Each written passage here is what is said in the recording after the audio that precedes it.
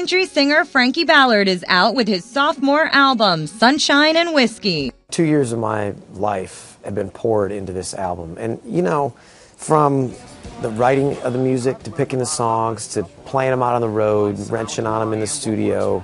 The 31 year old singer songwriter gets personal on this collection. They're either experiences that I've had personally or experienced, witnessed, observed in my friends and family's lives or just stories that I really wanted to tell. So I think when people get it, the, the record and listen top to bottom, they're going to learn a lot about me as a person too.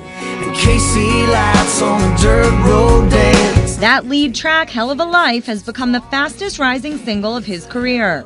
And like the lyrics say, he's soaking up every minute. I've been doing this for a long time and there's been lots of ups and downs. You know, I thought my first single would come out and we'd be right up the charts and you know off to the races, but it, things didn't happen that way for me. And so I can appreciate the bad times making the good times better. Ballard knew fans were connecting with this song right off the bat. Over the years of touring, I can really read people, an audience, really well.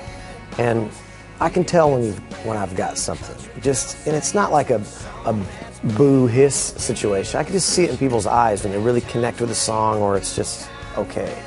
And I Hell of a Life is one that really was connecting with people from day one. So after all the hard work, he's happy to have this milestone. If this all takes off the way I hope it does, I think people will probably say, "Oh, he's an overnight success and it all happened."